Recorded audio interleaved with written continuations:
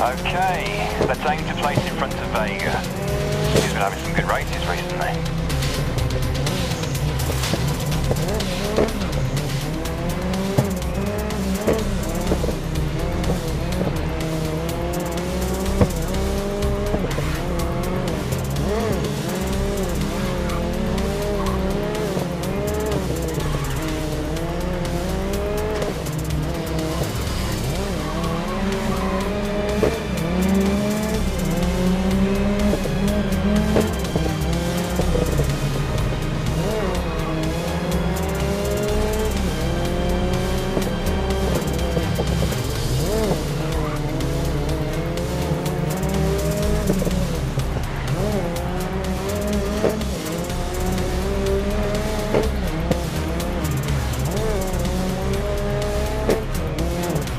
Okay,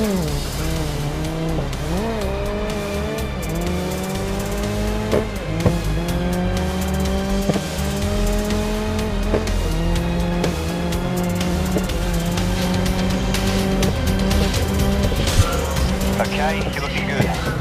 Let's stay in front of Vega.